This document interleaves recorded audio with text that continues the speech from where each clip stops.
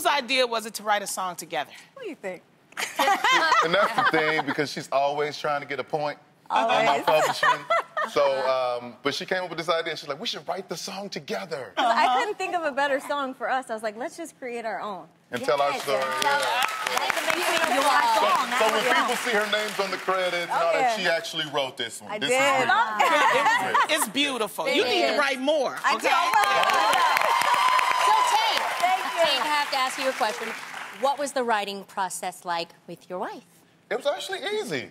You know what I mean? We, we fuss a lot. You know what I'm saying? We have a lot of We fun. go back and forth. Fussing. Yeah. Um, but the process was really easy. I mean, we just, like I said, we just wrote our life. You know, we wrote what we've been through, um, and we needed a moment that was ours because people who understand us know that this has been a journey. I So, love that line. we Work the restored fight. for I love that. Yeah, yeah. Zena, have Yeah. you ever written a song before? Yes, I have.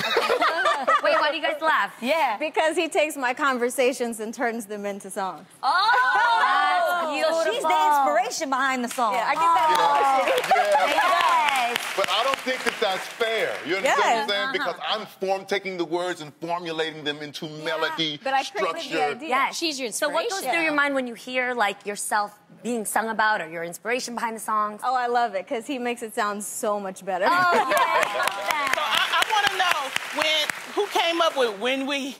Uh, who you think? I mean, yeah, we have those moments too. So, yeah, this is- Sassy songs yeah, yeah, that we you have have created. Yes, she's I love part of that.